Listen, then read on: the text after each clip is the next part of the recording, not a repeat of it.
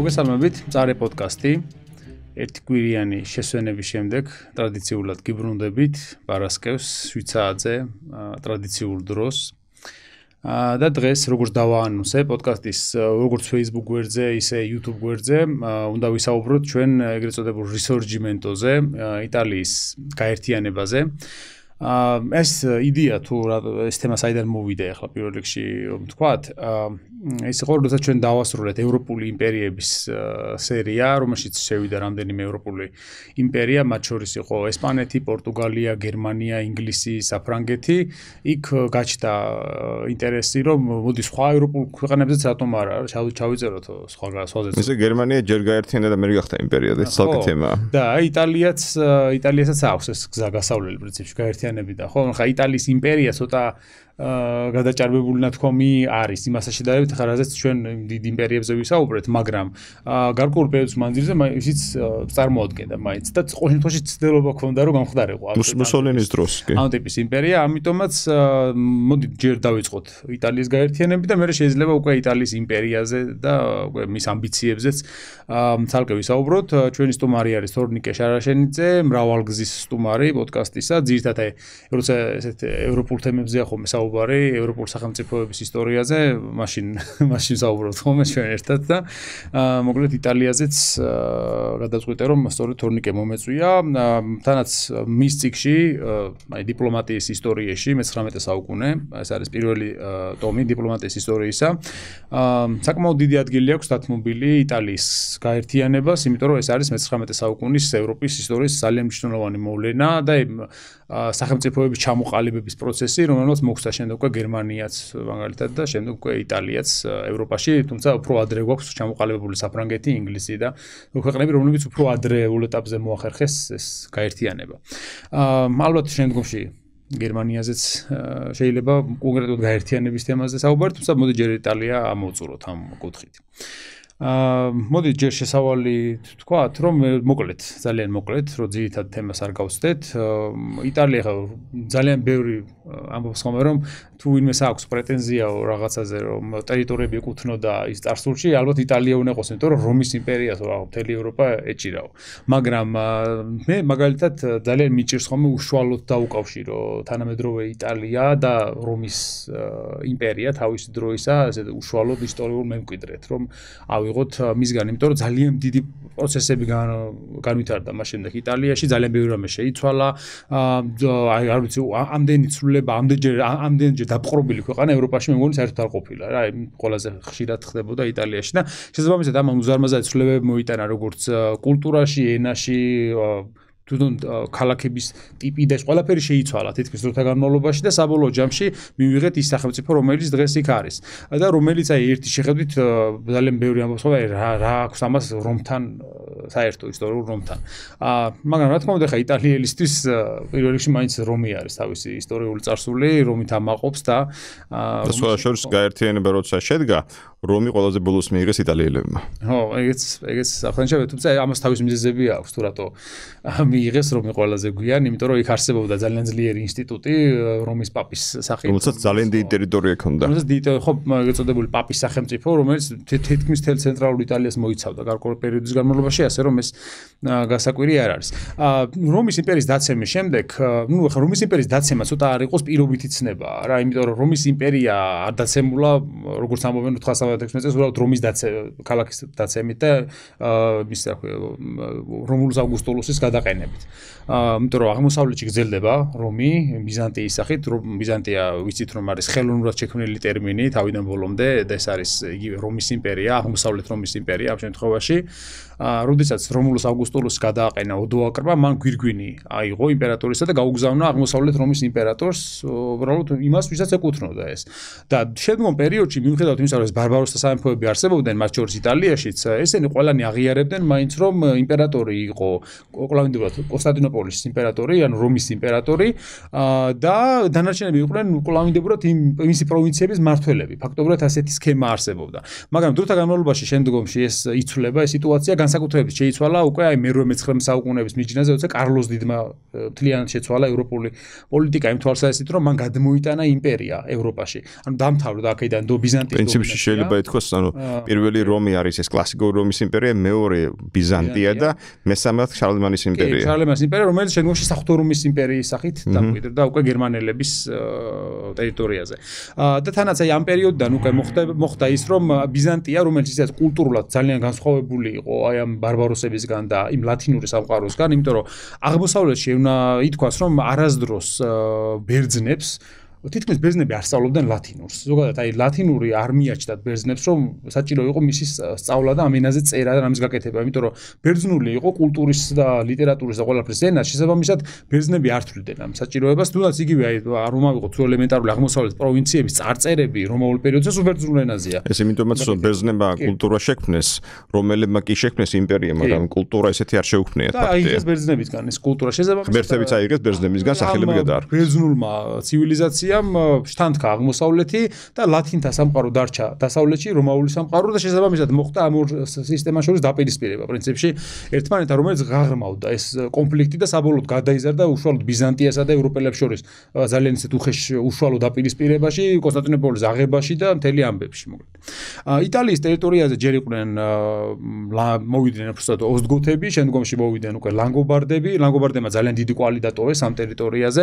მართალია ბიზანტიას ჰქონდა მცდელობა იტალიის ხელი აიღო იუსტინიანეს პერიოდში ბელისარიუსი ლაშქრობდა და დაიკავა გარკვეულ ნაწილები, მაგრამ ბიზანტიელებმა მე დროთა განმავლობაში დაკარგეს იტალია. აი ლანგობარდები მნიშვნელოვანია, იმიტომ რომ ლანგობარდების თავარი სიმბოლო რკინის გვირგვინი, რომელიც მათ მაშინ მეფეები იდგამდნენ თავზე, ითვლება იტალიის ერთიანი იტალიის რაღაც სამეფო სიმბოლოდ წარმოადგენდა და შემდგომში, როდესაც ნაპოლეონმა მილანში გააფორმა იტალიის მეფე თავის თავი აკურთხა, სწორედ ეს გვირგვინი მაშინ მიიღო მან ლომბარ ლომბარდიაში. ხო, ლომბარდიაში. ლომბარდთა გვირგვინია სწორედ ეს რკინის გვირგვინი, სხვათა შორის ითვლება ლეგენდის მიხედვით, რომ ქრისტეს სამშვალები არის ამ გვირგვინში გამოყენებული ის ლურსმნები, რომელთაც ქრისტე იყო ჯვარზე მიჭედებული. შესაბამისად, აი ესეთი სიმბოლური მნიშვნელობა ლანგობარდებს დარჩათ მუდმივად შემდგომ იტალიის ისტორიაში, მაგრამ იტალიის ისტორია განვითარდა ძალიან ქაოტურად შუა საუკუნეებში. ძალიან რთულია იტალიის ისტორიის რაღაცა ერთი ციგნის შექმნა, რომელშიც ყველა პროცესები ეს კარგად იქნება ახსნილი, ძალიან რთულია. იმიტომ რომ აი ვერ ძალიან პირველად ერთი შეხედვით აი მკითხველო აიღებს იტალიის ისტორიას, აი ვერ გააცნობიერებს ყველა პროცესს, რაც იმდენად ეს ძალიან ბევრი რაღაცა არის, ერთდროულად იცვლება, იმიტომ რომ ხან არაბები გადმოდიან აქ, ხან ნორმანები ესხმიან თავს, ხან ლომბარდები არიან, ხან კარლოს დიდი ლაშქრობს შემდგომში და ფრანკთა დომინაციის პერიოდი არსებობს აქ, შემდგომში საფრთხო რომის იმპერატორები აცხადებენ მასზე პრეტენზიას, იმიტომ რომ ეს არის რაღაც საჯილდო უხვად იქცა მთელი ევროპული იმპერიების ხელში, იმიტომ რომ იტალიას არ ქონდა ერთიანობა. რომის დაცემის შემდეგ აქ ეს ქალაქ სახელმწიფოები ნენელა განვითარდნენ და საბოლოოდ ცოტა შორის ისიც შეიძლება ითქვას რომ შუა საუკუნეების დასასრული საერთოდ ისტორიკოსების აზრით არის აი ქალაქების განვითარება და შემდეგ ამ ქალაქების ისეთ უკვე სასაშუალო ფენის ჩამოყალიბება რომელმაც საბოლოოდ დაამთავრა ეს შუა საუკუნოვანი ეპოქა და იტალია ამ ხრივ დაწინაურებული ნამდვილად არის. მართალია იტალიას არ აქვს ვაჭრობის ხარჯზე ალბათ უფრო ვაჭრობის ხარჯზე. ხო პოლიტიკური ერთიანობა არა აქვს მაგრამ ის ქალაქ სახელმწიფოები რომლებიც აქ არსებობს ის პიზა იქნება, გენუა, მოდენა, მილანი, ვენეცია თუ ასე შემდეგ, ის ქალაქები ვითარდება ძალიან კარგად ეკონომიკურად, ისინი ვაჭრობენ, ზღვაზე გადიან, რაც ძალიან მნიშვნელოვანია, იმიტომ რომ აი რომის იმპერიის დაცემამ სხვადასხვა ერთი ძალიან მნიშვნელოვანი ცვლილება მოიტანა ევროპაში, რომ ის საერთო სავაჭრო სისტემა, რომელიც იმპერიაში არსებობდა და მოიცავდა მარე ნოსტრომს, ანუ შიდა ზღვას, ან ხმელთაშუა ზღვას, რომისთვის რაღაც პერიოდის განმავლობაში რომ ჩავარდა ეგ ეს ვაჭრობა, ამან გამოიწვია გარკვეულ პერიოდის განმავლობაში ევროპული სივრცის დაქვეითება კულტურულად. შემდგომში როგორც კი იტალიელებმა დაიწყეს ამის ნენელა შეკოწიწება და აღდგენა და უკავშირდნენ ბიზანტიურ სივრცეს, აღმოსავლურ სივრცეს, რაღაც ერთიანობა კვლავინდებურად აღდგა და ევროპამ დაიწყო გამდიდრება ხელახლა და აღორძინება ქალაქებმა, რამაც გამოიწვია საბოლოო ჯამში შუა საუკუნეების დასასრული. ასე რომ იტალიური ქალაქები, რომლებიც იქ არიან პატარა ქალაქები, ერთმანეთს ებზვიან, თან ვაჭრობენ, დიდრდებიან, ყოველას თავისი კოლონიები აქვს, რაღაცით მოგვაგონებს ისინი ბერძნულ ქალაქ სახელმწიფოებს თავის ანტიკური ისტორიით, იმიტომ რომ ისინი სწორედ ასე ფაქტორიების დაარსები და კოლონიების ცდილობდნენ თავიანთი სიმდიდრის გაზდას და მოსახლეობის გადაყვანას ახალ სივრცეებში და ასე შემდეგ. ამავე დროს აი ყველაზე საინტერესო ტექსტი ალბათ რომელიც აი შუა საუკუნეებში იტალიას უკავშირდება არის მაკიაველის მთავარი, სადაც კარგად არის ახსნელი თუ რა სიტუაციაში არის იტალია იმ პერიოდში, იმიტომ რომ მაკიაველი ისეთ რჩევებს აძლევს თავის მთავარს, ხო, ფლორენციის მთავარს, ну სადაც ეუბნება უხსნის რომ აი ეგ პატარ-პატარა ეს იტალიის სახელმწიფოები როგორ მოქმედებენ, შემდგომში როგორი ტიპის ჯარები ყავთ მათ, როგორი ჯარი უნდა გამოიყენოს, როგორი არა, ვის უნდა ენდოს, ვის არა და ასე შემდეგ. ანუ ეს ფაქტორია სახელმძღვანელოსავით არის. თორე შუა საუკუნეებს ახასიათებს გავსი ტექსტები.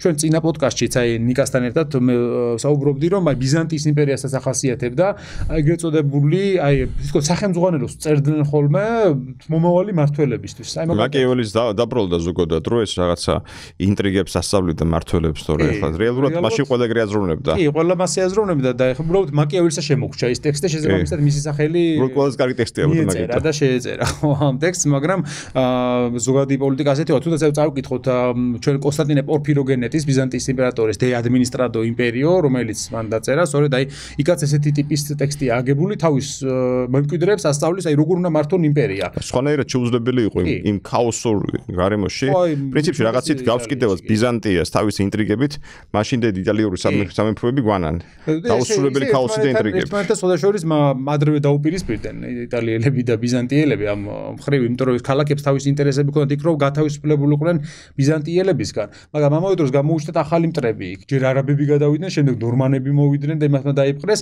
და შესაძლოა აი ახსანიშნავია რომ იტალიაც აი მიუხედავად იმისა რომ ეს არც ისე დიდი ტერიტორიაა ახლა, ხო? აა ყველა ზონა იტალიაში განსხვავებულია, როგორც პოლიტიკური შეხედულებებით, ისე მოსახლეობის ეთნიკური მდგომარეობა ძალიან სხვადასხვაა ჩრდილოეთ იტალია და სამხრეთ იტალია ორი აბსოლუტურად განსხვავებული დღემდე განსხვავდება. ზოგადად ეხლა ლაპარაკობ რაღაცას დავფიქრდი. შეიძლება სწორედ ამ მუდმივ ლაშქრობებმა ჩამოყალიბება ესე თქვა ჩამოყალიბება ამ სივრცეში ფრენ იტალიურ სივრცეში ეს მენტალიტეტი რომ უნდა იყო ყოველთვის ფრთხილად ამაში რაზგული ხო იტალიები როგორც ცნობილია ამაზე დღესაც ვილაპარაკეთ პოდკასტში ძალიან ცუდი მეომრები გამოდგნენ მე დროთა განმავლობაში როგორც გაიყვნენ თუ როგორც ჩანს. ამას მაკიაველიც კი იმდენჯერ დაიპყრეს გარედან იტალიელები როგორც ჩანს რომ გადაეჩვინენ რომ გადაერჩინეს სერიოზულ წინააღმდეგობას სულ გადარჩენაზე ფიქრობდნენ. სულ გადარჩენაზე ფიქრობდნენ ფიქრობდნენ შევეგუები დამპყრობელს დამპყრობელი ოდესღაც წავა და ჩვენ დაგვჭობა ეს ტერიტორია მაინც. და მე მგონი აი რო უყურე პრინციპში ამ გაამართლა მიდგომა მასკარად ერთი ძალიან თუმცა საუკუნეები გაგზელდა ხო რა თქმა უნდა კი ერთი comedia queer Catch-22 აღწერილი არის ამერიკელების ყოფნა იტალიაში მეორე მსოფლიო ომის დროს. და იქ ამერიკელ ოფიცერს ადგილობრივი იტალიელი ბაბუე უბნება რომ მომწონხარ მე შენ მაგრამ წინასწარ შეიგუ იმას რომ შენ აქედან წახვალ და ეს ტერიტორია ისე იტალიელებს აღჩვევ იმიტომ რომ ჩვენ ვინ არ გვინახავსო ჩამოუთვლეს ეს. ყოფილა ეს ყოფილა მე ახლა ხან გერმანელები იყო ეხა თქვენ შემოხვიდე საბოჯამში მაინ ჩვენ დაგჩვებო ჩვენ შეგუებული ვართ რომ დამპრობლემები მოდიან მიდიან. მოდიან მიდიან. ხო და ჩვენ საბოჯამში რჩევითო და აი ეს მიდგომა აქვს როგორც ჩანს ჩამოუყალიბება სწორედ აი ამ ისტორიამ ხო ყველაფერი ხო ყალიბდება საბოჯამში ადამიანები და ერები ყალიბდებიან გარემოებებით ხო ჩვენ ხომ ამას უყურებთ. ხო უბრალოდ რა არის აი ამ საუკუნეების მანძილზე ფაქტობრივად არც გაერთიანება ვერც გაერთიანება მოახერხეს იტალიელებმა სანამ მოვიდა მე-19 საუკუნის შუახანებამდე პრინციპში ნაპოლეონის მიერ დაპყრობამ იტალიის და ნაპოლეონის ან საფრანგეთის ფრთისქვეშ გაერთიანებამ როგორც ჩანს პირველად მისცა იტალიელებს ერთიანობის რაღაცა მაგალითი ხო? როგორც გერმანიას როგორც რაინის კონფედერაცია ზუსტად ხო. პირველად მისცა ეხლა სანამ გადავიდოთ უშუალოდ გადავალთ უშუალოდ საგანზე მე ვიტყოდი რომ იტალიის გაერთიანება მე მგონი განსაკუთრებით რელევანტურია ჩვენთვის ახანდელი ქართული აუდიტორიისთვის. იმიტომ რომ ჩვენ ფიქრობთ ჩვენი ტერიტორიების დაბრუნებაზე ანუ რაღაც დონ პრინციპში ეს გაერთიანება ხო. ასე და ახლა პრუსიის მიერ გერმანიის გაერთიანება ჩვენ ნაკლებად გამოგვადგება იმიტომ რომ პრუსია ძალიან ძლიერი არმია ეყავდა.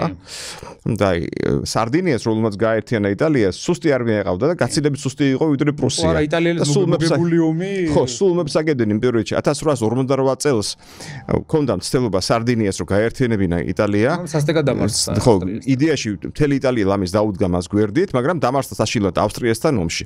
და ავსტრიასთან ომში დამარცხების შემდეგ როგორც ჩანს სარდინიელებმა გამოიტანეს თავარი გაკვეთილი რომ ავსტრიას ისინი მარტო ვერ დაამარცხებენ, საჭირო არის ვიღაცა დიდი მოკავშირის მოძებნა. უკვე შეგვიძლია გადავიდეთ თემაზე, ხო? კი.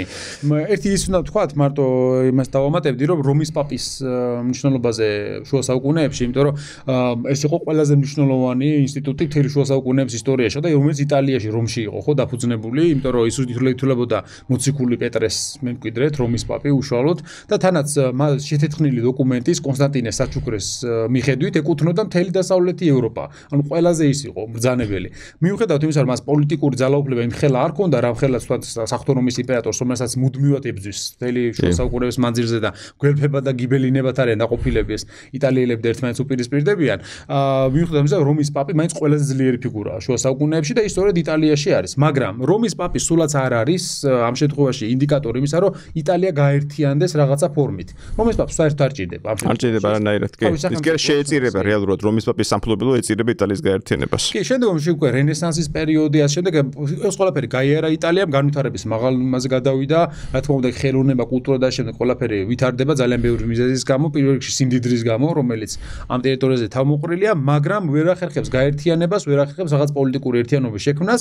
შემდეგ არის რამდენიმე უფერული საუკუნე, სხვადასხვა ასე უწოდებენ ხოლმე, დაწყებული მე-17 საუკუნე და მე-18, აი მე-19 სტანდარტ ფეხს მოიკიდებენ უკვე იქ იტალიაში და სარდინიელები უშუალოდ.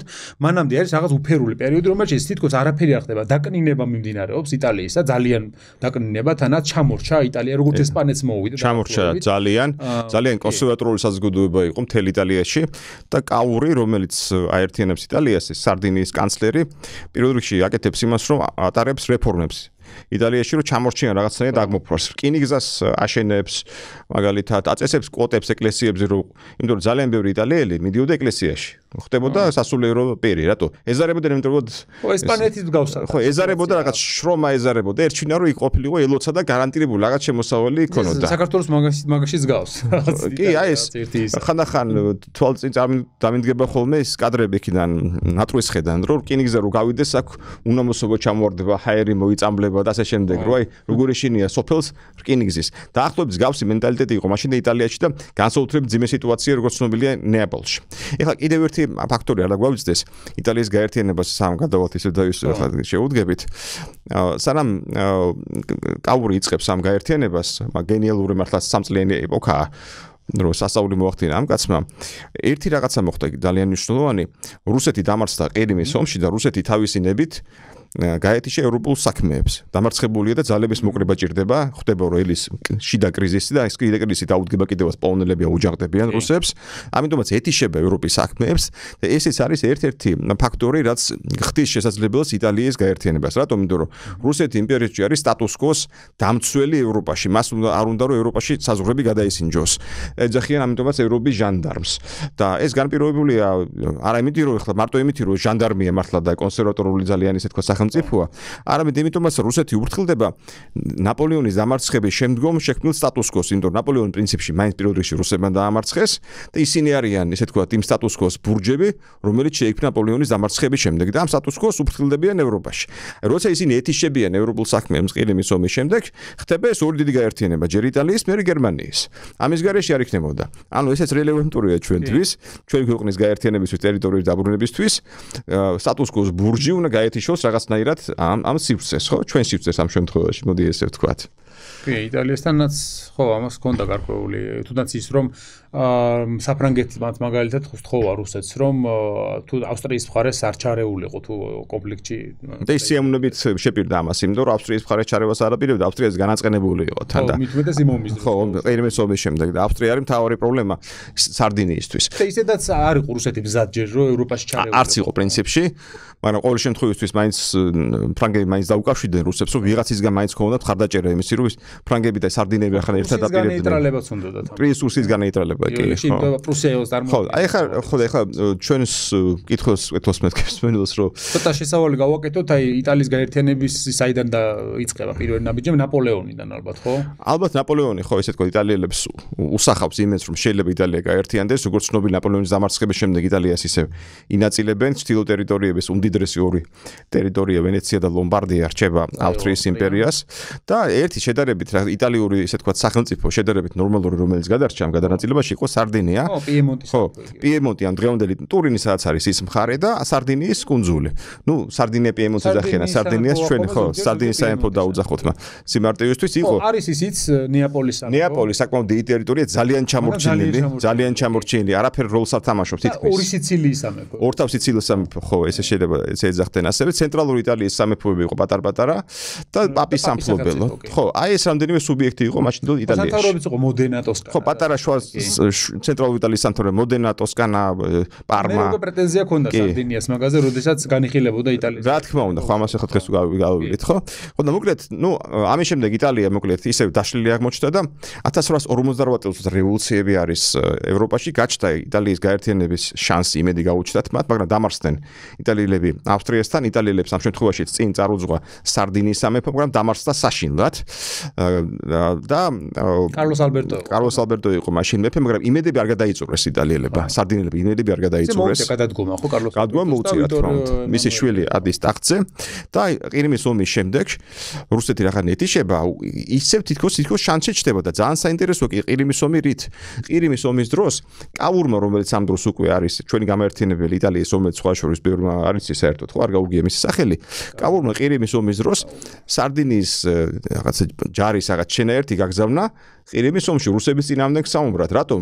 დაფიქსირებული იყო გამარჯვებულების გვერდით. უკვე გასაგებია რუსეთი ალბათ დამარცხდება ყირიმის ომში.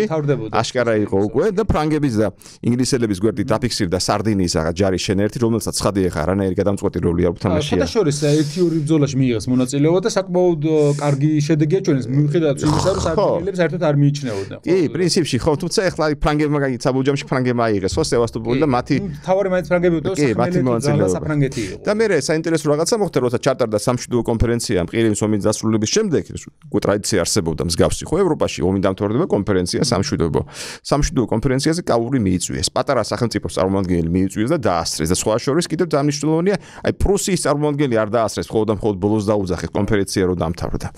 აი ეს იყო ძალიან სერიოზული გამარჯვება პოლიტიკურ დიპლომატიური კაურის რომ ის დაასწრეს დიდ სამშვიდობო კონფერენციას. ხო, ისიც უნდა ვთქვათ, რომ საფრანგეთში ლუი ნაპოლეონის გაიმპერატორებმაც მნიშვნელოვანი როლი შეასრულა. ალბათ გადამწყვეტი მე ვიტყოდი, გადამწყვეტი. იმიტომ რომ ჯერ ის სანამ იმპერატორი გახდებოდა, მანამდეც კი იბრძოდა იტალიის დამოუკიდებლობის. სენტიმენტები ჰქონდა იტალიელთან მიმართ, აშკარად კორსიკელი იყო ხა ბოლოს და ბოლოს. კორსიკელთანაც აღსანიშნავია რომ ბონაპარტები იტალიელები იყვნენ. ხო, რა თქმა უნდა. ნეაპოლიდან იყვნენ წარმომავლობით, შესაბამისად იტალიასთან ჰქონდათ გარკვეული კორსიკელი იყო და ეს მნიშვნელოვანია ამას ვერ მოყვები ამახსენდება ხა როცა გავარძელებთ ხრობას. ხო და ანუ კაურის მინზანი იყო რომ მას რაღაცნაირად ესე თქვა დაევალდებულებინაცავით თითქოს და საფრანგეთი რომ ის გვერდით იბრძოდა მაგრამ უფრო მნიშვნელოვანი იყო ის რომ გამოჩენილი იყო ის მოთამაშეა ევროპაში. და მე უკვე შეიძლება ითქვას, კაური ელოდება რაღაცა მარჯვენ მომენტს, რაღაცა შეაძლებლობის ფანჯარას, როგორც თანამედროვე ტერმინით, ტერმინოლოგია ამბობს, რომ დაიწყოს გაერთიანება და გაერთიანებას ხელს უწყობს ერთი ძალიან უცნაური შემთხვევა, ეს არის ტერორისტული აქტი. ლუი ნაპოლეონის წინააღმდეგ. ჩვენ სპენელს შევახსენოთ აუხსნათ რომ ლუი ნაპოლეონი ეს არის მაშინ იმპერატორი საფრანგეთის. ნაპოლეონი მესამე. რომელიც იყო ნაპოლეონის ძმისშვილი საინტერესოა მისი დედამამა ვინი დედამამა ძალიან საინტერესოა. ხო ლუის ჟოზეფინას შვილი იყო მისი დედა. ჰორტენზია და ლუი ნაპოლეონი და ჰოლანდიის ისინი პრინცი გამოდიოდა თავის ისე გამოდიოდა კი. ანუ ნაპოლეონმა თავის ძმა ლუის სხვა შორის ძალით გააყოლა ცოლად. თავისი გერი ხო თავისი გერი ჟოზეფინას შვილი. ერთმანეთს ვერ იტანდნენ. ერთმანეთს ვერ იტანდნენ. ძალიან უცუდი ქორწინება იყო. და ჰორტენზია საფრანგეთში ჩავიდა და დატოვა. ძალიან უიღბლო ქორწინება იყო, მაგრამ ნაპოლეონს უყვარდა მსგავსი რაღაცა ქორწინებების დადგმა. თავის ნათესავების. ნაპოლეონის იტალიური ხასია, შორის ხას უსმევს მისი nepotizmi, თავის ნათესავების. ოჯახის წევრების დასმა მეფეებად და ასე შემდეგ. კლანივით იყო ეს პარტია ამ შემთხვევაში. იურატი დასვა იქ ის დასვა თავის ჟოზეფი ესპანეთში დასვა და რა ვიცი კიდე. ხო. ჟერომი ვესტფალიაში კი. ხო და მოკლედ ლუი ნაპოლეონი ხდება 1800 50 წლის რევოლუციების წყალობით საფრანგეთის ჯერ პრეზიდენტი და მეორე იმპერატორი და ლუი ნაპოლეონს აშკარად რაღაცა სიმპათიები და სენტიმენტები აქვს იტალიელთა მიმართ, მაგრამ რო ხდება მეორე იმპერატორი იტალიელთა დასახმარებლად არაფერს არ აკეთებს, მიუხედავად იმისა, რომ აი სარდინია მიომა ყირიმში რუსების წინამდებ ფრანგების მხარდა. მხარ და ამიტომაც უწყობენ მას ტერაქტს იტალიელები გადარჩება. ურსინი მოაწყო. ხო, გადარჩება. და რო გადარჩება სინდისიში აწუხებს, რო აი იტალიელები მივატოვე და ღირსი ვარ. ხო, პირიქით დაემართა, იმიტომ რომ უცნაურ ადამიანს ძალიან დოს. სინდისში აწუხე როგორც ჩანს ღირს ღირსი ვიყავ იტალიელები დავივიწყეო და თვითონ ჩააგონებს ამ იდეას ორსინის რომ წერილი მომწერეთ ციხიდან რომ ნამუსზე ამაგდეო და მე ამ წერილს სპეციალურად დააბეჭდიებს როგორც ფრანგულ ასევე სარდინიულ პრესაში ო ის სარდინიულ პრესა ძალიან საინტერესოა რომ ავსტრიის წინააღმდეგ ძალიან ისეთ ფანტასტიკურად იმუშავა ეწეოდა რა ფეიქ ნიუსები პროპაგანდა და ასე შემდეგ მაგრამ ავსტრია პასუხს თხოვდა მე კაური ანეიტრალებდა მაგრამ თავისუფალი პრესაა. ხო ბერაშვაშიო თავისუფალი პრესაა კი ზუსტად. და ამის მერე ამ როცა ეს პრესაში ეს წერილი იბეჭდება ამ ორსინის რომელსაც ხადია სიკვდილით მაინც ჯიან მე რო უკვე ადგილი აქვს კაურის და ნაპოლეონის საიდუმლო შეხვედრას და გარიგებას აი საიდუმლო შეხვედრა გარიგება არის ჩემი აზრით ძალიან საინტერესო და გასაანალიზებელია თანგონი ვალევსკიც არის ყო ჩართული ვალევსკი იყო მასშტაგერ რომიც ნაპოლეონის შვილი. მაგრამ არიწოდა მამაც შეხვედრა ხო სხვადასხვა შორის ვალევსკი ცოტა ეჭვის თვალით უყურებს ნაპოლეონის ავანტიურას ბიძამის ლუი ლუი მეს ნაპოლეონის მესამეს ავანტიურას ვალევსკი რომელიც არის დიდი ნაპოლეონის შვილი უკანონო შვილი მარია ვალევსკასგან ცოტა ეჭვის თვალით უყურებს ხო და ახლა რა არის ამ გარიგნების შინაარსი დეტალები? ძალიან საინტერესოა ჩემი აზრით. პირველი საფრანგეთი ეხმარება სარდინიას რო განდევნონ ავსტრია იტალიური ტერიტორიებიდან ანუ ლომბარდია და ვენეცია დარჩეს მე სარდინიას და სარდინიების ტერიტორიები შეიერთოს. აა ტოსკანაში ფლორენციაში რომ დაჯდეს ტახტზე ნაპოლეონის მემკვიდრე პრინცი ჟერომი, ჟერომი არ იქვა სიანდვილეში, მასაც ნაპოლეონი ერქვა. ყველას ნაპოლეონი ერქვა ოჯახში უკვე, ხო? იცი, პირველი სახელის მე იყო ნაპოლეონ, ჟერომ ნაპოლეონ, ლუი ნაპოლეონ და ასე შემდეგ. ხა, გასაგებია, ასეთ კაცი რომ დაიბადება, მე ოჯახში ყველას ნაპოლეონ როგორც იმაში არის, ხო? მარტოობის ასწელი. თვითონ ჟერომი ნაპოლეონის ძმებიდან ყველაზე უორესი იყო. დავისი ამ შემთხვევაში ნიჩიტა და ძალიან ძალიან მაგან დაღუპა რუსეთის კამპანია ფაქტობრივად. აბსოლუტურად, კი, აბსოლუტურად. ხო და და კიდე საინტერესო გარიგების ნაწილი ერთი ყორის რომ ჟერომი რომ დამჯდარი იყო ნაპოლეონის მემკვიდრე იმპერია იმპერიაში ვინც იყო, უნდა დამჯდარი იყო მეფეთ ტოსკანაში და ცოლად უნდა გაიყოლებიათ მისთვის ისე ეს ბონაპარტისეული ეს კორსიკული რაღაცა ოჯახური ნეპოტიზმი ცოლად უნდა გაიყოლებიათ მისთვის სარდინიის პრინცესა. ეხლა ძალიან საინტერესოა რატომ? აა ბონაპარტებს ყოველთვის კონტ ეს პრობლემა, ბოლომდე ლეგიტიმურები არ იყვნენ, ხო? იმიტომ რომ არის არ იყო ძველი მონარქიული ბონაპარტები არიან, ხო? ხა ნაპოლეონმა დიდმა თავის დროზე პრობლემა გადაჭრა იმით, რომ ავსტრიის პრინცესა წაიყვანა ცოლად, ეხა არ გააყოლებდნენ და კაიჩის დაიჭერდა რა ავსტრია და დამარცხებული იყო. ხო, დამარცხებული იყო ავსტრია და ეხლა ჟერომი რა ხარ მოგახდეს ნაპოლეონის შემდეგ, შემდეგი მემკვიდრე, მემკვიდრე კი არა, შემდეგი იმპერატორი საფრანგეთის, ლუი ნაპოლეონი ფიქრობს იმაზე, რომ აა ჟერომს მაინც გავაყოლოთ ცოლად სამეფო სისხლის ქალი. და მოძებნეს სარდინიის პრინცესა. თანაც სარდინია ამ შემთხვევაში ყველაზე მეტად ეძებს სიახლოვეს. ეძებს სიახლოვეს საფრანგეთს და ჭირდება ავსტრიის წინააღმდეგ და. თუმცა რაღაცა თავიდან არ იყული თან. არა, წინააღმდეგია თავიდან მეფე, სარდინიის მეფე წინააღმდეგე კაური ეუბნება შენი ჭირიმე ხო იცი? კორსიკელია და მაგაზე ვარს ნუედღვე. როგორც მეტერნიხმა და თავის დროზე კარლს იმას ავსტრიის იმპერატორს ხო, ზუსტად. გააყოლეს შენი შვილი, შენი ჭირიმე გადაგვარჩინოს იქნება, ხო? დაახლოებით კორსიკელია და ვარს ნუედღვე. კი, კი, ზუსტად. ხო, ეს მეორე დეტალია გარიგების. მესამე არის საფრანგეთმა უნდა მიიღოს კომპენსაცია. ეს არის ნიცა და სავოია.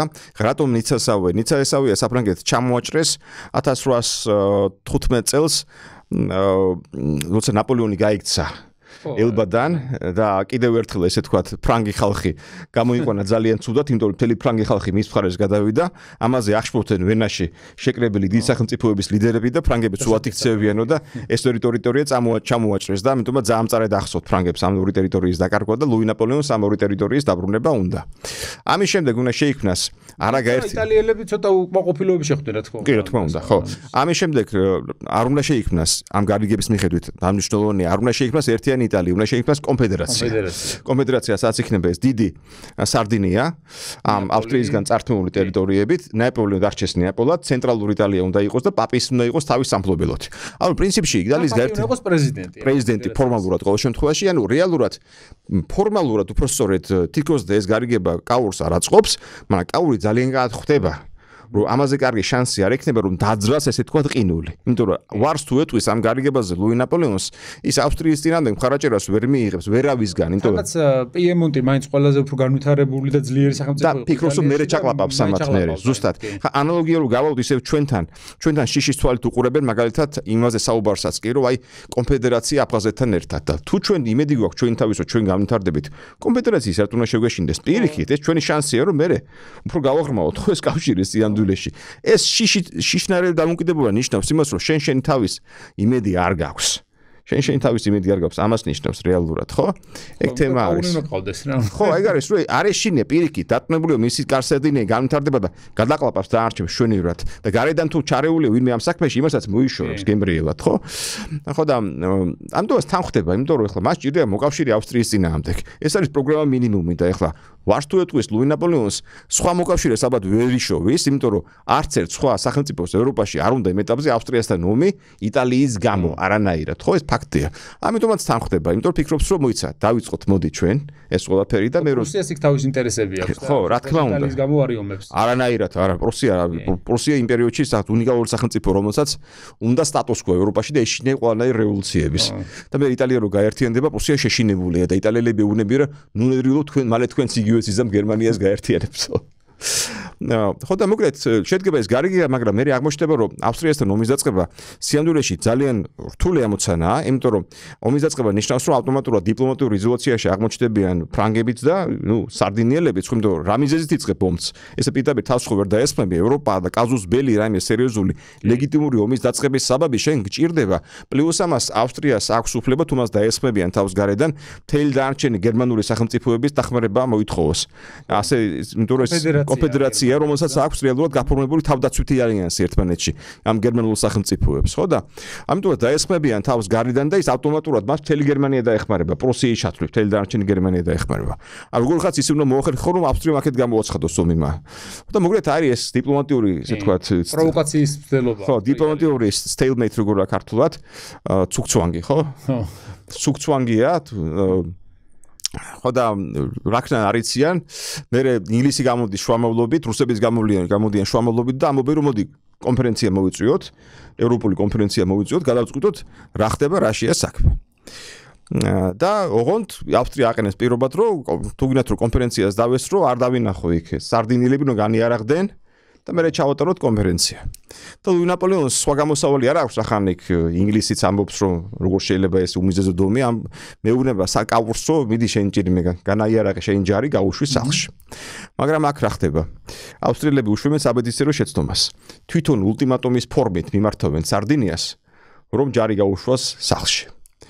და ხა ულტიმატუმის შინარსი რა არის? ულტიმატუმზე ვარს თუ გეუბნები შენ იძულებული ხარ გინდა არ გინდა უმინო გაომეცხოდო. კაურის ხადია ეუბნება ვარს ავსტრიას ულტიმატუმის შესრულებას და ავსტრიას ომს უცხადებს. აქეთ ანუ თვითონ ხდება აგრესორი და შესაბამისად ხო, შესაბამისად გერმანული სახელმწიფოებისგან დახმარებას ვერ მოითხოვს ვერანაირად. ეხლა რატომ ხნა ეხლა ეს ავსტრია ეს სიგიჟე ეს ან საინტერესო თემა. პირველი ალბათ ის რომ ავსტრიას უნდა და რომ თვითონ დაეშინებინა სარდინია. ისე გამოსულიყო რომ სარდინია კი არ კი არ დაყვა ფრანგების თუ ინგლისელების ზეწოლას, არამედ გამოსულიყო ისე რომ ავსტრიამ შეაშინა, ხო? ესე თქვა ლიჩნად შეაშინა, ქართული ტერმინი რომ გამოვიყენოთ. და მეორე იყო ის, რომ პრესა მიმუშავა ძალიან კარგად, fake news-ები და უბნიეს ტვინი ავსტრიის თავრობას და სამეფო კარს, იქ ეწერა რომ აი კაურის დღეები დათვლილი, ეს კი ლუი ნაპოლეონის დღეების დათვლილი ამ ავანტიურის გამო და მოკლედ იფიქრეს რომ არაფერი გამოვა. უბრალოდ ამათ საქმე წასულია ვიფიქრეს. მეტენი ხე აღარ ყავდათ ანუ. მეტენი ხე აღარ ყავდათ კი ნამდვილად. და როცა იწყება ომი, თვითონ სარდინები სარდინია მანდამაინს მაგრად ვერ უმობს, მაგრამ ფრანგები ომობენ მაგრად და ამარცხებენ ავსტრიის არმიას. ლომბარდიას მალე განთავისუფლებენ და ლომბარდიის განთავისუფლების შემდეგ უცებ მოულოდნელად ფრანგები წვეტენ ომს და ავსტრიელებს გაურგდებიან. ომს წვეტენ. ავსტრიელები თმობენ ლომბარდიას, ოღონდ ლომბარდიას უთმობენ არა სარდინიას, არამედ დემონსტრაციულად საფრანგეთს, თუ სარდინიასთან რა საქმე აქვს თქო საერთოდ. ეს კარგი მაგალითია, რომ ხანდახან შეიძლება პატარა სახელმწიფოს გვერდისავლით დიდები გარიგდნენ ხოლმე. ხო, ხდება ხოლმე საკმაოდ ხშირად ეგეთი რაღაცეები. აა ერთი შეღავათი სარდინიისთვის არის ის, რომ ნაპოლეონი აღარ ითხოვს იმ ტერიტორიულ კომპენსაციას ნიცას და სავოიას. ამას აღარ ითხოვს. მაგრამ ნუ გაერთიანების გეგმა შეიძლება ითქვას რომ შეფერხდა ძალიან სერიოზულად კაური თანამდებობა სტოვეს პროტესტის ნიშნად. ნუ რა რა მივიღეთ პირველ ეტაპზე? სარდინიას დარჩა მხოლოდ ლომბარდია, უგონ კიდევ ერთი ძალიან მნიშვნელოვანი რაღაცა მოხდა. აი რომ დაიწყოს იტალიის გაერთიანების ომი და იტალიის გაერთიანების ტალღა რო წამოვიდა, ტალღა წამოვიდა იმიტომ რომ ავსტრიელები დაამარცხეს, ცენტრალური იტალია დადგა ფეხზე, ცენტრალური იტალიის სამეფოებში დაამხეს თავიანთი მართულები და გააძევეს. და ამბობენ რომ ჩვენ ერთიან იტალიაში გვინდა. ანუ იქ სიტუაცია აირია და ვეღარ ლაგდება ვერანაირად. და რაც არ უნდა უთხრან იქით იტალი სარდინილებს უთხრან რომ დაალაგეთ სიტუაცია სარდინი ამბობს ჩვენ რა შუაში ვართ თავისუფალი ხალხის ნება და ასე შემდეგ. ხა ალბათ თვითონაც უწყობდნენ ხელს. რა თქმა უნდა, კაურს წინასწარ ყავდა თავის აგენტურა მომზადებული და ფინანსებული ძალიან სერიოზულად, ანუ წინასწარ გაემზადა იმისთვის, რომ ცენტრალურ იტალიაში სიტუაცია არეულიყო, როგორც კი ავსტრიას დაამარცხებდნენ. სამხრეთის მიყვა პრინციპში, ხო, გარკვეულდიოცა გამოჩნდა იქ. ხო, ცოტა გვიანი და ცოტა უბძიმედ, მაგრამ მაინც მიყვა რა თქმა უნდა. და მე მე მოკლედ ახლა რო არ დავღალოთ ჩვენი მსმენელი ბევრი დეტალით, ასეთი არეული სიტუაცია რო არ შენარჩუნებულიყო იტალიაში, ლუი ნაპოლეონი დაფიქრდა იმაზე რომ საჭირო იყო თვითონ სჭირდებოდა ეხა რაღაცა თქვა ხო არისო მოიფიქრე ეს ტერიტორიები მინდა ლიცა და საუია და კაურთან გარეგება შედგა რომ ლიცა და საუია რომ დაეთფო დაეთფო საფრანგეთისთვის სარდინია და სამაგიეროდ სარდინიას უნდა წაიყვეს ცენტრალური იტალიური სამეფოები და ნუ აქ მოხდა აქ გათამაშდა ნუ აი ცირკი რო ვთქვათ ისე რო ვთქვათ ჟარგონზე ცირკი გათამაშდა ორივემ ჩაატარა სასწრაფოდ პლებისციტები. საფრანგეთმა ჩაატარა პლებისციტები ნიცა და სავოიაში და სარდინილებმა ჩაატარეს პლებისციტები ცენტრალურ იტალიის სამეფოებში. ნუ ფრანგებმა გამოვიდანეს პლებისციტში შეკითხვა თანახმად ხარ თუ არა შემოხვიდეთ საფრანგეთში და იმათო გამოვიდანეს რომ თანახმად ხარ თუ არა შეუერთეთ სარდინიას. ნუ განსაკუთრებით კომიკური ხასიათი ჰქონდა პლებისციტის ცენტრალურ იტალიის სამეფოებში, იმიტომ რომ როგორც თქვით, ხალხი ძალიან ჩამორჩენილი იყო იმეროს იტალიაში და პლებისციტი კი არა, წერაკითხვაც არ იცოდა ძალიან ბევრმა. ხო და ხალხს იტყუებდნენ პლებისციტზე შემწვარი ხორცით, ღვინით, ეუბნებოდნენ რომ მიდი, გაჭმევენ და გაგალევინე უფასოდ, ზოგ ცემაცემით ერეკებოდნენ საერთოდ პლებისციტზე მათრახით. შედეგები როგორ დაწერეს ახლა ეგეს ხო, ხო, რა თქმა უნდა, იმიტომ რომ ახლა ვინ იყო დამკვირვებელი ახლა ეუთოს მისია და მსგავსი რაღაცები არ არსებობდა. ბევრმა ჯვარი დასო უბრალოდ, იმიტომ რომ წერაკითხვა არ იცოდა. ნუ კომიკური იყო. იტალიაში როგორ ჩამ როგორ ჩამორჩენ ამ ეტაპზე. ძალიან, ხო, აი ეს მართლაც მართლაც გასაოცარი. ეკლესიას ჰქონდა ამაში გარკვეულ. ეკლესიამ და დაწია აშკარად უკან. კათოლიკური ეკლესია სადაც შემურჩა მეტნაკლებად ევროპაში ყველგან იმოქმედა. დაწია უკან ძალიან ძალიან კონსერვატორული იყო. ესე შედგა გაერთიანების მეორე ეტაპი, რომელშიც ნუ რომელიც რის წყალობით ახლა შეაძლებელი მოდი რო ვთქვათ, კაური მოემზადა ამისთვისაც. როგორც კი აერიოდა სიტუაცია ცენტრალურ იტალიაში, რომ მის ხალხს ჩავარდნოდა იქ რეალური ძალაუფლება. რა თქმა უნდა ეს მართველები იქ ვერ დაბრუნდნენ, ვინც გააძევეს. თავისთავად ცხადია, ხო? და ტერიტორია შეუერთა, ყველა სამეფო შეუერთა სარდინიას. ეხლა აქ კიდე ერთ რაღაცა უნდა ვახსენოთ. იტალიის გაერთიანება როგორც წავიდა კაურისეული სცენარით, იყო ერთ-ერთი სცენარი. კიდე არსებობდა მეორე სცენარი, რომელიც ავტორიც იყო მაცინი, რომელიც ითვლება ხო, მაცინდელი იტალიელების ესე თქვა, მაშინდელი იტალიის ნაციონალი გაცრავად ერთ-ერთ ფუძემდებლად და მაცინის იდეა იყო რომ მომხდარი იყო იტალიაში ესე თქვათ რესპუბლიკა რაღაც რევოლუციასავი მთელ იტალიაში და იტალია გაერთიანებული იყო რესპუბლიკად. ხო, გავიცნობთ რომ ადრეულ ეტაპზე მაცინი უფრო ძველია. უფრო ძველია და ეს რევოლუციური რევოლუციური იდეები უკვე მაშინ დუღდა ხო? მოყოლებული ნაპოლეონიდან დუღდა. ხო და მაცინის იდეა იყო მიუღებელი სარდინიისთვის, იმიტომ რომ სარდინია სურდა, ასე თქვა, სარდინიის გაფართოება, როგორც სამეფოს მონარქიის. რაც საბოლოო ჯამში მოხდა კიდევაც, ხო? და მაცინის უნდა რესპუბლიკის გამოცხადება იტალიაში, საერთო რევოლუციის მეშვეობით. და გარიბალდი მაცინის გავლენის ქვეშ უფრო იყო. ძალიან მნიშვნელოვანია. და გარიბალდი ვერ იტანდა კალურს. მაშტოვის იმიტომაც ვერ იტანდა გარიბალდი თვითონ ნიცელი იყო და ниცა რო დაუთმეს ფრანგებს ახლა სარდინილებმა კალურის ჩაგონებით ვერაპატია.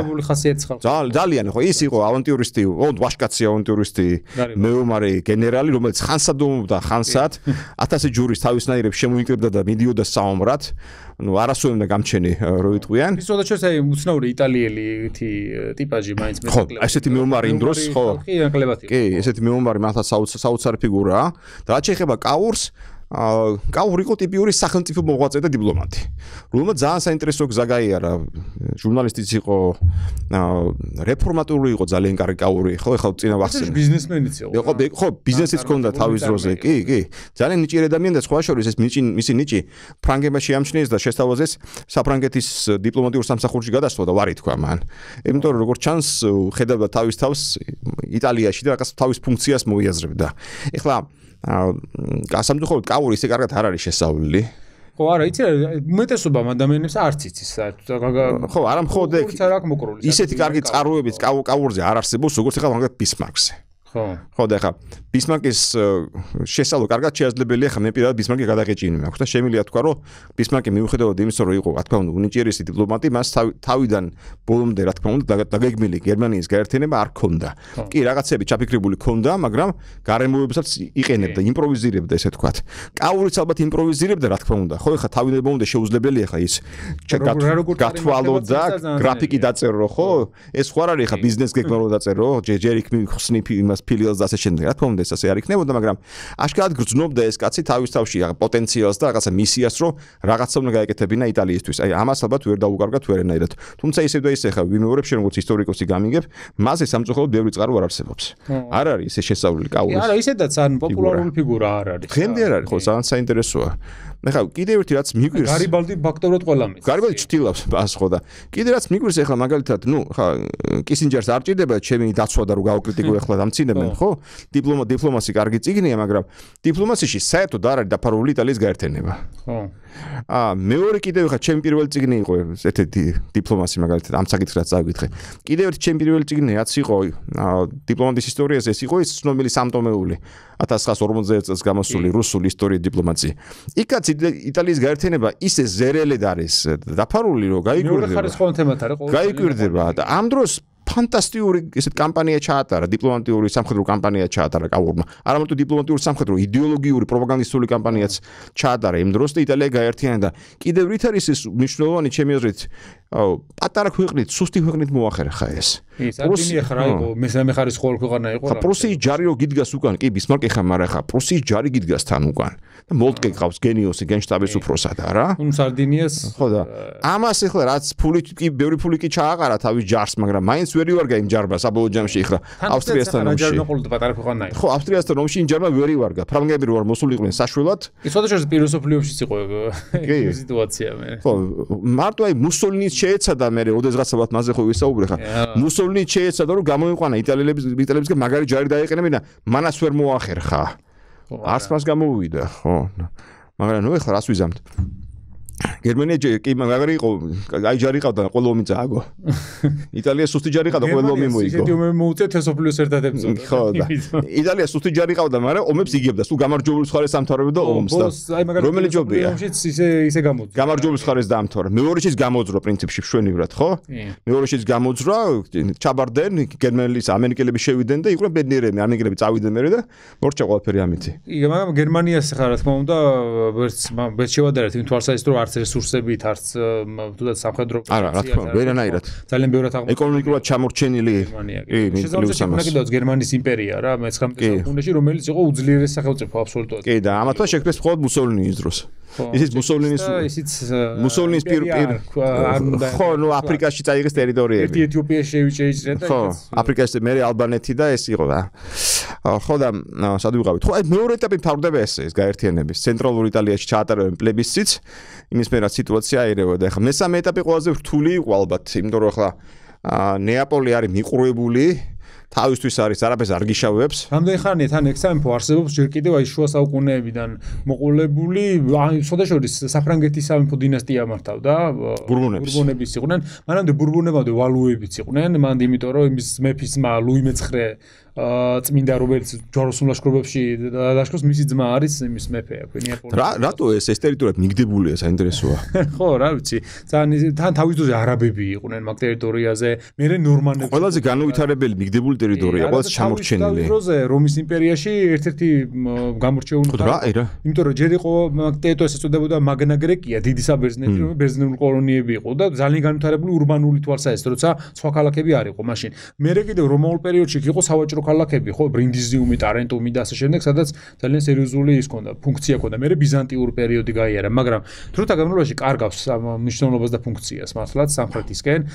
ეს ალბათ გამოიწვია პირველ რიგში რომ იქ არ იყო ქალაქ სახელმწიფოები ამ ტერიტორიაზე ესეთი მნიშვნელოვანი სავაჭრო ის არ განვითარდა ეს ხო არ განვითარდა აი ზემოთ იყო ხო ვენეცია ჩრდილოეთშია მილანიც პიზა და ასე შემდეგ გენუა და ყველა არის მოქცეული ძირითადად ჩრდილოეთ ნაწილში. და სამხრეთში რო ეს არ იყო ურბანიზაცია რო არ მიმდინარეობდა მოსახლეობაც პრო არეული და ჭრელი იყო სხვათა შორის, უნდა ითქვას, იმიტომ რომ აქ იყვნენ არაბები, ნორმანები და ასე შემდეგ და სიცილია და სამხრეთ იტალია რაღაც ერთ კონტექსტში უფრო არის განსახილველი ვიდრე დანარჩენ იტალიასთან, რომის ან პაპის და მის პროჩედურებით მდებარე ტერიტორიებთან და საბოლოო არც აგასაკვირი რომ ერთიანდება იტალია მე პრობლემა აქვს სერიოზული, იმდენად დიდია უთანასწორობა და კონტრასტის მათ შორის ეკონომიკური და კულტურული კონტრასტი ძალიან დიდია და ახლა ეს კი არა კაცო ცოტაკეთ წამოვიდეთ. 1990 წელს ოსამ სოფლიო ჩემპიონატი იყო იტალიაში. მარადონა ამ დროს წინავს ნეაპოლში. ნეაპოლი ჩემპიონი გახდა და ჩემპიონთა რა ვიცი რები არ მოაგებინა. და როცა გამართული იყო თამაში თან ნეაპოლში გამართა ეს თამაში იტალიასა და არგენტინას შორის მარადონა გამოვიდა თავისი ყველაზე უფრო ცნობილი და პროვოკაციული ინტერვიუთი სადაც თქვა რომ ნეაპოლი იტალია არ არის ეს იყო ერთ-ერთი ალბათ მე ვიტყოდი აი ზაგასაყარი მარადონასთვის იმის პერე ძალიან ბევრმა ნეაპოლულმა შეაქციებმა ზურგი. მაგრამ ხა შემთხვევით არ იყო ეს ფრაზა ნათქვამი კი, იცი რა არის, ხოთა შორის აი როცა გაერთიანება დამთავრდა იტალიის მაშინაც ითქვა, რომ ამობდნენ რომ იტალია ჩვენო გავაერთიანეთო და ხა იტალიელი უნდა შევქმნათო, იტალიელი. უნდა შევქმნათ იტალიელი ერი, ხო იტალიელი, ხო იტალიელი ხალხი, რომელიც არ არსებობდა მართლაც კი. იმიტომ რომ წარმოგიდგინე რომ ფაქტობრივად იტალიელი, იტალიის ერთად არ უცხორიათ რომის იმპერიის მერე ერთ სახელმწიფოში მოქცევა. ნაპოლეონის დროს ეხა ძალიან ცოტა ხანი იყო. ნაპოლეონის დროსაც მთლად ყოველთელი იტალია. ხო, თელი იტალია არის კი პლუს ამას კი, თელი იტალია არის. ამისად აი ეს ასე გამოდის რომ ერთად არ უცხორია ამ ხალხს და უცებ იცხოვრო. სხვა შორის ერთი გენიალური ფილმი, გენიალური რეჟისორი ვისკონტის ლეოპარდი, კატოპარტო იტალიურად ორიგინალში, ეძღვნება სწორედ აი ამ პროცესს, კონკრეტულად სიცილია როგორ შედის იტალიის შემოადგენლობაში. და გენიალური ფრაზა არის ამ ფილმში, რომელსაც ძალიან ხშირად იმეორებს თავი პერსონაჟი. თავი პერსონაჟი არის ადგილობრივი, ესე თქვა, რაღაც თავადი, არისტოკრატი, რომელიც კარგად ცხოვრობს სიცილიის პირობებში. მაგრამ ხდება რომ მოდის ეს რაღაც ცვლილებები და ცვლილებებს უნდა რომ აეწყოს და თავის ძმიშვილს ძმიშვილი თორსტები ალენდილონი თამაშობს მოაყვანებს ცოლად ესე თქვა სიცილიელ აქტივისტს რომელიც ქვეყნის გაერთიანებისთვის იბრძვის სიცილიის იტალიაში გარის შესვლისთვის იბრძვის. ხო და ეს გენიალურ ფრაზას ამბობს ეს პერსონაჟი რომ თუ გვინდა რომ ყველაფერი დაარჩეს ისე როგორც იყო რაღაცები უნდა შევცვალოთ ანუ ჩვენ კომფორტული ცხოვრება რო არ დაირღვეს რაღაცები უნდა შევცვალოთ ან ცვლილებებს უნდა გადავეწყოთ.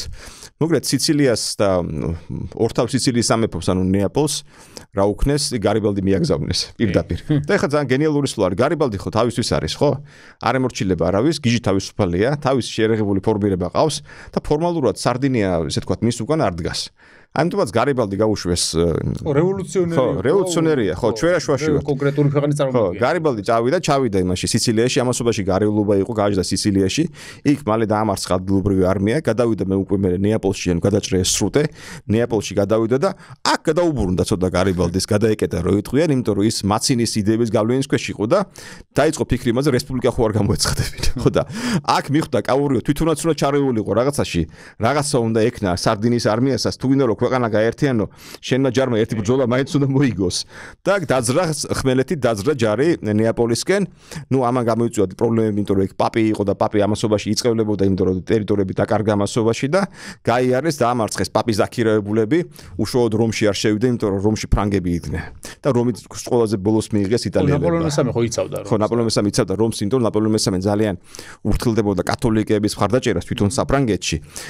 და ამიტომაც მიაშთა რომ აუცილებელი იყო რომ რომის პაპი ყოფილიყო ფრანგების დაცვის ფრთის ქვეშ. და სხვა შორის ახლა ლუი ნაპოლეონს საბოლოო ჯამში ეს ძალიან ცუდად დაუმთავრდა. ირიმის ომშიც რელიგიას რელიგიას ხო იერუსალიმი რელიგია იქცა თავიდან ესე თქვა. იმას განხეთქილების ვაშლად ირიმის ომში და ამიტომაც რომს რა თქმა უნდა არ შეეხმენ ფრანგები იყვნენ და ხა ფრანგებს არ ეხებოდნენ ხო ხა შეეხები და ცუდად დაგიმთავრდები თუ ბოლოს გაჯობეს ომში ხო სხვა თუ არა იმპერია ბოლო-ბოლო ხო და როშ მიუახლოვდა კაურის ანუ სარდინის არმია რომ მიო ხოლო ნეაპოლს და კიდე საინტერესო რაღაცა მოხდა. გაუმართლა ხო რაღაც რაღაცეებში ახლა არ არსებობს რომ ესეთი დიდი კამპანიის დროს რამეში არ გაგიმართლოს ხო? გამართლების ფაქტორი ყოველთვის ყოველფერში არსებობს თორსა წარმოდებული ხარ. ბოლო ბოლო ეტაპზე რაღაცნაირად ნეაპოლის არმიამ გაიღვიძა და გარიბალდი შეავიწროა და გადავიდა აქეთ შეტევაზე და გარიბალდის უკვე აღარაფის თავი აღარ ქონდა და რომ შევიდა ეგ სარდინის არმია გარიბალდის აღარაფის თავი აღარ აქვს. რესპუბლიკაზე ფიქრი თავი სადა აქვს. ამიტომ ლამის წააგო. ლამის წააგო ბრძოლა და პრინციპში მას უკვე მოუსწრო მშველელად სარდინის არმიამ.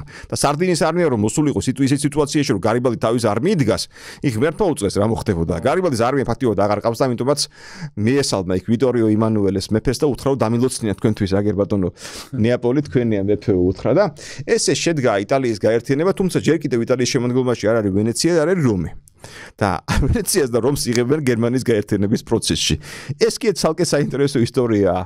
აა ცალკე საინტერესო ისტორია, იმიტომ რომ ავსტრიას აქვს. ხო, ავსტრიას აქვს ვენეცია და რომში კიდე ფრანგები დგანან და როცა მე გერმანიის გაერთიანება იწყება, გერმანიის გაერთიანება პრინციპში მოიცავს ორ დიდ ომს. ეს არის ომი ჯერ პრუსიასა და ავსტრიას შორის და მეორე ომი პრუსიასა და საფრანგეთს შორის. პრუსია და ავსტრიას შორის ომი სამ დაიწყება. ავსტრიელები თავისინებით უთმობენ, თავისინებით თმობენ ვენეციას, იმიტომ რომ ფრანგების ხარაჭერის იმედია და ფრანგები ეუბნებიან რომ მოდი რა ეს ვენეცია დათმე. იტალია ამ დროს აფორმებს ალიანს პრუსიასთან ავსტრიის წინააღმდეგ, ისევ საშილად იომებს იტალია ავსტრიასთან ომში და აგებს ომს, მაგრამ რა მნიშვნელობა აქვს? ვენეცია მაინც რჩება და მე უკვე როცა არის ომი საფრანგეთსა და პრუსიას შორის ფრანგებს გაყავთ იძულებით ჯარი ელემენტარულად რომიდან. ფრანგები მე ომს აგებენ პრუსიასთან და რომიც რჩება ხო და რომიც რჩება ამასობაში იტალიას. ანუ იტალიას ეხლა რომ ავიღოთ ჩვენ ეს გაერთიანების პროცესი ერთ-ერთი ბრძოლა რაც მოიგეს პაპი ზაქიროებლებს მოუგეს გონი ხო რეალურად სხვა არაფერი არ ყოფილა ხო ნეაპოლი გარიბალდი მოუგო პრინციპში ხო ესე გამოვიდა ხო? ანუ ბრძოლას ვერ იგებენ მაგრამ ამ ხელწარმატებას მაინც აღწევენ. ვიცი რა ეს მე მგონი ის მე-19 საუკუნეში მაინც მეტნაკლებად ის რაღაცა ერების ჩამოყალიბების პროცესი რომ მიმდინარეობს მეტნაკლებად გამოერკვა შედარებით საზოგადოება მანაც ითამაშა გარკვეული როლი თუნდაც გერმანიის გაერთიანებაში ისევე როგორც იტალიის გაერთიანებაში. არა ნაციონალიზმი რომელიც მოიტანა მე-19 საუკუნე ნაპოლეონის ომებმა ხო რა თქმა უნდა ეხლა ალბათ იყო გადამწყვეტი. ეხლა ნაპოლეონის ნაირი ალბათ გავლენა სოფლიო რუკის შექმნაზე ალბათ არავის არ ქონია. ხო ნამდვილად ხო? ადამიანს ყოველ შემთხვევაში. შეიძლება პროცესი ქონია ეხლა პირველ სოფლიო ომს ქონდა მაგრამ ეხლა ადამიანურ ავიღოთ ცალკე ეგეთი გავლენა რუკის შექმნაზე ფორმირებაზე ალბათ არავის არ ქონია. ხანგრძლივი შედეგები ქონდა კი რა თქმა უნდა გერმანია გერმანიას თავი დავანებოდა იტალიას ანუ ევროპას ამერიკის შექმნაში საფუძველი ქონდა რა და ლათინურ ამერიკის განთავისუფლებაში ლათინურ ამერიკაში კი აი იმიტომ არის რომ უნდა წავიკითხოთ ალექსანდრე მიქაბერდის გლობალური მასშტაბით ისტორია. გლობალური მასშტაბით ნაპოლეონის ესე ვთქვათ შედეგი მოღვაწეობის შედეგი არის რაღაცა შედეგი არ არსებობს. აი ჩინეთი და იაპონია ჩვენზე კონდა რამე გავლენა? ჩვენზე პრინციპში ვერ ვერ ექნებოდა. ვერ ექნებოდა ჩვენ ჩაღლაბებული ვიყავით უკვე 1801 წლის მერე რუსეთის საქართველოსი არ დაინტერესებული უშუალოდ. სხვადასხვა საქმე იმაშია რომ აი ფინკენშტაინის ხელშეკრულებით ირან ირანს გვიტოვებდა ჩვენ უტოვებდა ჩვენ თავს. და საქართველოს და რომ ხა თვითონ უშუალოდ ნაპოლეონისთვის და საფრანგეთის ხა წდომა ვერ ექნებოდა ფიზიკურად. არა ხო, აქამდე რომ მოსულიყო შენ დაინტერესებული იყო, მისთვის თუ იყო მნიშვნელოვანი რეგიონში რამე იყო სრუტეები, ხო? სიტყვაზე და ანჩით არაფერი. ხო, თუნდაც მართალია მას რაღაც რომანტიკული იდეები აწუხებდა, რომ მე იქიდან ჯერ მოსკოვის აღება, მე იქიდან ტიფლისიდან ინდოეთის კელაშქრობა და ასე შემდეგ და მთელი ამბავი. ხო, ეს თუმცა ეს იყო უბრალოდ რაღაც რომანტიკული იდეა. აზიისკენ მოდი ჩვენ ზონა გაიაროს აუცილებლად, ხო, ეს. შესაბამისად, ვერსუაფშეშეს რომ იქ მოწერაც არსებობდა. მოწერა რა ამ შემთხვევაში ერთ სამხრევი. სოლომონ მეურის წერილი თუნდაც ნაპოლეონისადმი და ალექსანდრე ბატონიშვილის და შემდეგ თუმცა რა ჩვენებს უფრო ფრანგებს ევედრებიან მოკლედ რა. ხო, რა უნდა ეკნათ ახლა პრინციპში ეს ნაპოლეონის შესულდა მან ვითარებას და ვერც მაშინ ამ შემთხვევაში უნდა გამქრალიყო ორი იმპერია რუკიდან, ოსმალეთის იმპერია და რუსეთის იმპერია თავიდან ბოლომდე. და ახლობით ისე ახლა დამოუკიდებელ პონენტი რო შეიქმნა, ყველა დამარცხდა ომში, ავსტრიის დამარცხდა გერმანიას და რუსეთის, ხო, პირველი მსოფლიო ომის ბოლოს. და უბრუნეთ მოდი ამ ჩვენს კაურს, მალე გარდაიცვალა იტალიის გაერთიანებიდან. ვერ მოესწრო ვერც რომის დაბრუნებას და ვერც ძალიან მალე გარდაიცვალა.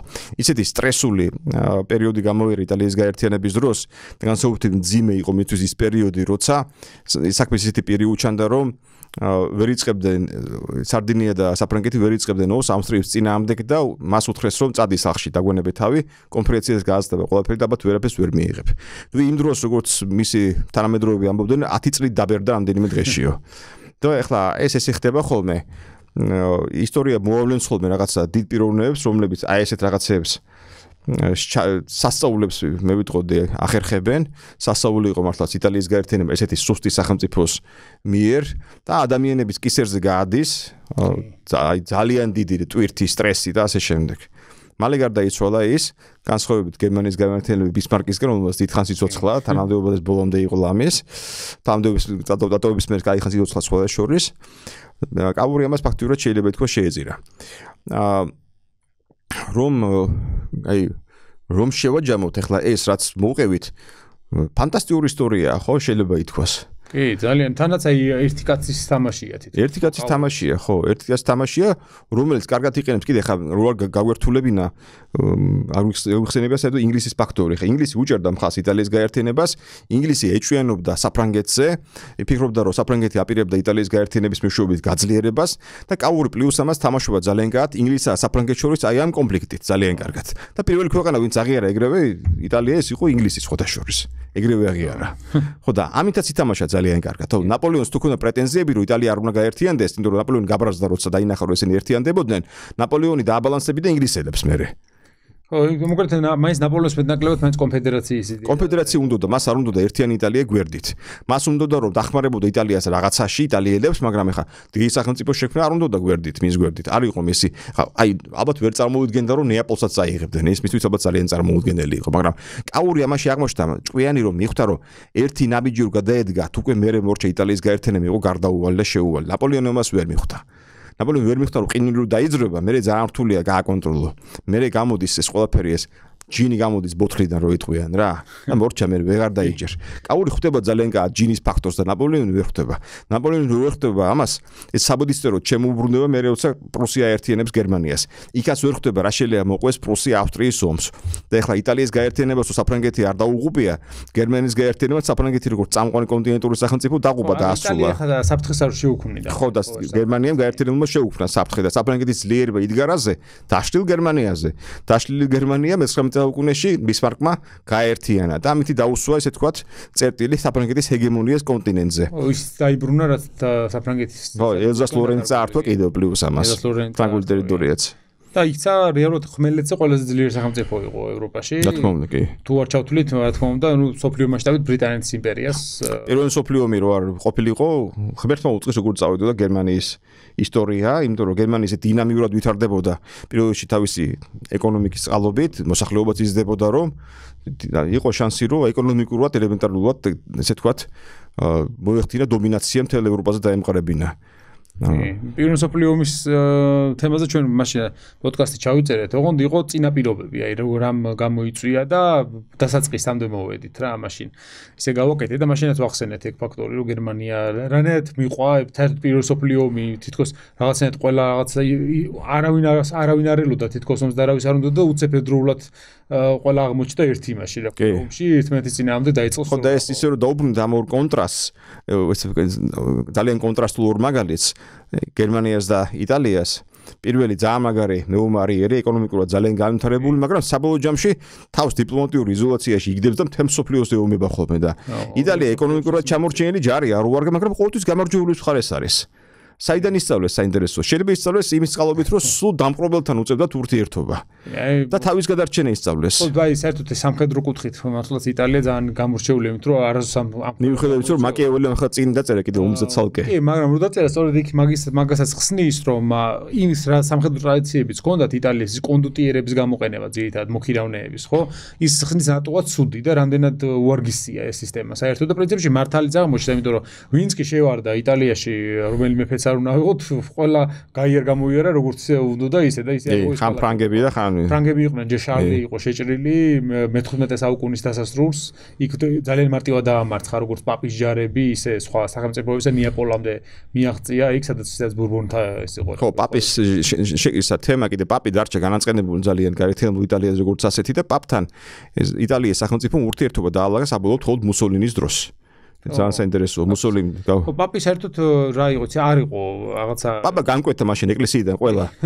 აა საერთოდ მეფე განკვეთა ყველა. ძალიან შუა საუკუნოვანი ესა მაინც რა ინსტიტუტია ეს რომის პაპობა შეიძლება მომისად კონსერვ ყველაზე კონსერვატიული ძალა შედერება რა ეხლა ეხლა ნუ პაპებთან რომლებიც ძალიან პროგრესულები არიან ხო? ნუ მეტი გზა აღარ ხო რა თქმა უნდა გადაწყობილი იყვნენ ისინი რომ მათი არსებობა შენერჩუნებული და ერთიც რო დაუბრუნდა აი ამ მენტალიტეტს რომელიც როგორც ჩანს იტალიელებს განსაკუთრებით სამხრეთ იტალიის მასშტაბში პრობლემებს ჩამოუყალიბა აი დამ პრობლემებთან ურთიერთობა.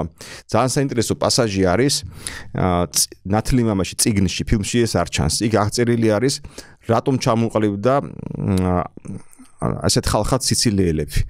ესეთ ხალხად რომლებიც ახერხებენ იმას, რომ საფრანგეთში, ამერიკაში ესეთი სერიოზული მაფიოზური კლანი ჩამოუყალიბებული. ხა ამას სხვა რაღაც უნარჩვევები ჭირდება. იქ წერია რომ იტალიელებმა მოდიში სიცილიელებმა იმდენ დამპრობელი გაიარეს. იმდენი რაღაცა ისწავლეს დამპრობლებისგან. ისე ისწავლეს დამპრობლებთან ურთიერთობა, თავის მოჩვენება, დამპრობლების მოტყუება, პლუს ამას ისე ისწავლეს ერთ ოჯახური ერთიანობის დაფასება. რომ გარეთ ყველა მტერია, თუ ოჯახში უნდა შევიკრათ. რომ აი ამის წყალობით ხდება, რომ ჩადის ვიღაცა ბოგანო, ისიც საჭიროებული სიცილიელი გარბის იტალია იტალიიდან, იმიტომ რომ არ დაედგომება გაჭირება, ან მოკლას უბირებენ ამერიკაში გარბის და მალე ლამის თელ ნიუ-იორკს ხელში იღებს. აი ამ მენტალიტეტის წყალობით, რომელიც ჩამოყალიბდა მუდმივად დამპრობლებთან ურთიერთობამ და ბევრნაირ დამპრობლებთან ურთიერთობამ. კი, არ ვიცი, ვინც კი მე ყველა მოხდრილა სიცილიაზე მით უმეტეს უშუალოდ სიცილიაზე მით უმეტეს. სიცილიაზე მით უმეტეს. ეს ოდაშორის აი მე მახსენდება გარიბალდის გარიბალდიზე პირველად თუცა წავიკითხე იყო ჩემი ბავშვობის ერთ-ერთი საყვარელი წიგნი იყო ჯიოვანოლის სპარტაკი, რაფაელო ჯიოვანოლის სპარტაკი, რომელიც იყო როგორც აღმოაჩინე გარიბალდის საყვარელი წიგნი. ასევე და დადიოდა ნეაპოლის კამპანიებში თამაში ბალიშის ქვეშედო იმას სპაშორის გარიბალდი არ უხსენებია, მე კიდე ცდელობა იყო რომის დაბრუნების გარიბალდი მიუშვეს რომზე. იმის იმით რომ ფრანგები რომს და გვითხოვნა არ დაუფთვეს ფრანგებმა გარიბალდი მე ციხეში ჯაგდეს. ანუ ერთი ადამიანი ვინც ამხლაწული შეიტანა იტალიის გაერთიანებაში გამოიყენეს ციხეში ჯაგდეს.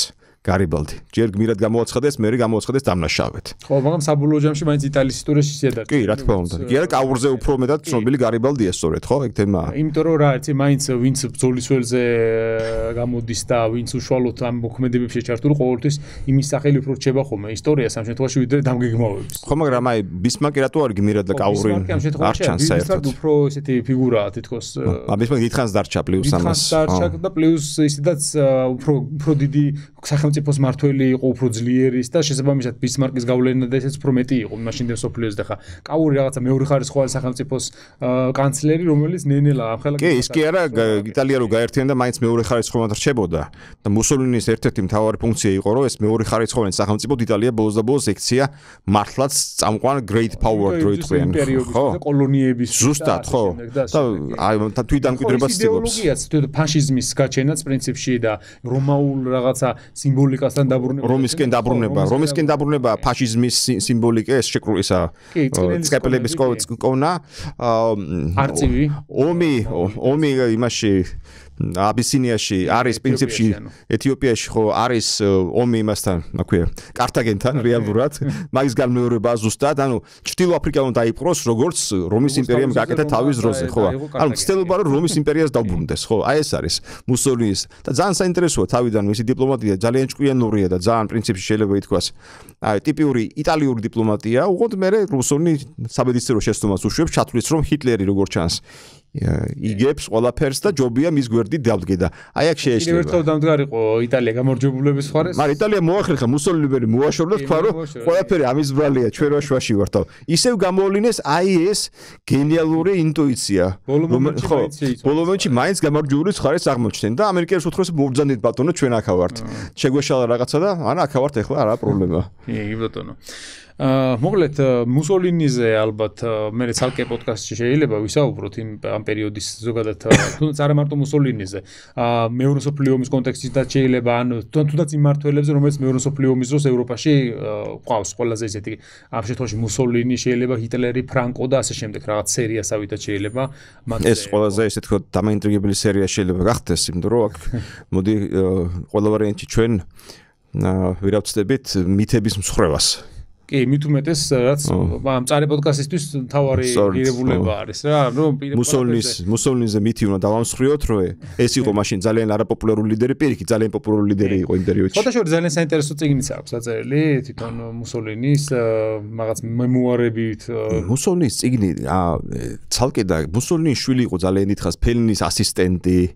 ბიჭი ერთ-ერთი ერთ-ერთი დაიღუპა. ძალიან ტრაგიკულად ამთავრებს ცოცხლეს. კი, საშილად, საშილად. კი. მაგრამ პრინციპში იტალიელების გან არისო გასაკვირი ბოლო. ნუ თელი ესე თქვათ, განსხვავებით ფრანგებისგან, ვინც ნაპოლეონს დაუდგენ გვერდით, ოსა ნაპოლეონი გაიქცა ელბადან და ამის გამო დაისაჯდნენ. იტალიელებმა თქვეს, რომ ყველაფერი ამის ბრალია და მოგვაშორეთ. და თვითონ შალზე გადარჩნენ. მოკლედ იტალიელები მაკიაველის მას მისდევდნენ რა. კი. მთავარს და ეს ალბათ მაინც იტალიის როცა გვინდა რომ წარმოვიდგინოთ თუ რა როგორ როგორი იყო იტალიელის აზროვნება. გადარჩენაზე ორიენტირებული. და ამაში თავარიც ამასთან ახლოს არის სწორედ იმიტომ რომ იქ ის ხშირად ამბობენ ხოლმე ფრაზას რომ მაკიაველის ყველაზე ის რაც არის ხო მნიშვნელოვანი რომ ყველაფერი ყველაფერზე სულაკეთება შეიძლება გამარჯვებისთვის აბსოლუტურად ნებისმიერ რამეზე შეიძლება წახვიდე ადამიანი ხო გამარჯვებულს არ ასამართლებენ და ასე შემდეგ.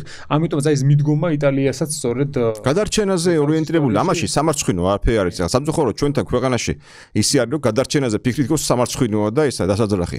ჯერ გადარჩენაზე უნდა ფიქრო რომ გადარჩე მე გაძლიერებაზე უნდა ფიქრო ხო და მე ჯერ გადარჩე მე გაძლიერდი ხო? და იტალიელებს უ გადარჩენაზე ორიენტირებული იყვნენ ამაშია საქმე. კი უბრალოდ საქმე იმაშია რომ აი სწორედ კაურის პერიოდში და ამ პერიოდში იტალია ცარდინი ასე თუ ისე კაურის ცდილობს რომ მაქსიმალურად ბევრი გააკეთოს რომ შემდეგ ეს სახელმწიფო შექონდეს იმის შეძებლობა რომ ის დანარჩენებიც მიერთოს. იმას თავის პროპაგანდაც აქვს იმას თავის პოლიტიკა ყველა მიმართულებით და აი ეს არის უმთავრესი ფაქტორი იმაში რომ ის ემზადება რომ რაღაცა გააკეთოს იმისთვის და ემზადება მარჯვენ მომენტისთვის. თუ არაფრისთვის არ ემზადები და აი ზუსტად ქვეყანა გააძლიერო დაებოდო მომენტს სუსტები და სუსტები. კი კი კი. ხო და ვეღარნერში დექს ვერ მოგიწევს. ზუსტად ეს არის ეხლა ჩვენ საქართველოს პარალელს თუ გავავლებთ ეხლა პრობლემა ის არის რომ დახვდეთ ბზად რაღაცა მომენტს ძლიერები უნდა ვიყოთ. ხო პირიქით სუსტ ძლიერდებით შიგნიდან შიგ აშია დინამიკაზეა საუბარი აქ სუსტად კი. არც ერთიანობა როცა არ არის და არც მე ერთიანო პრობლემა რა აქვს ქვეყანაში კი ბატონო კი. მისგან დაართულია რამე შედეგს აი პარალელები ყოველთვის საინტერესოა.